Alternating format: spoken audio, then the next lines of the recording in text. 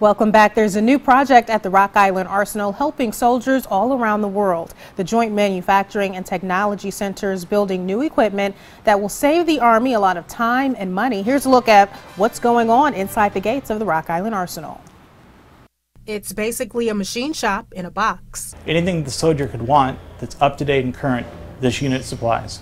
The official name is a machinist working metal shop shelter, and it's designed to better equip our soldiers while in combat by allowing them to repair their gear and weapons on site. Otherwise, the parts that they would need to repair would have to be shipped to a different location uh, to make those repairs, and we would have to wait for them part to come back to them. This way, that it's on site, it's readily available, and a quick turnaround for any kind of repairs they need to make. The Rock Island Arsenal offers the only full metal manufacturing facility in the entire Army, putting this first of its kind mobile machine shop in high demand. Each unit is equipped with advanced technology that can take an image of any part and create a new one.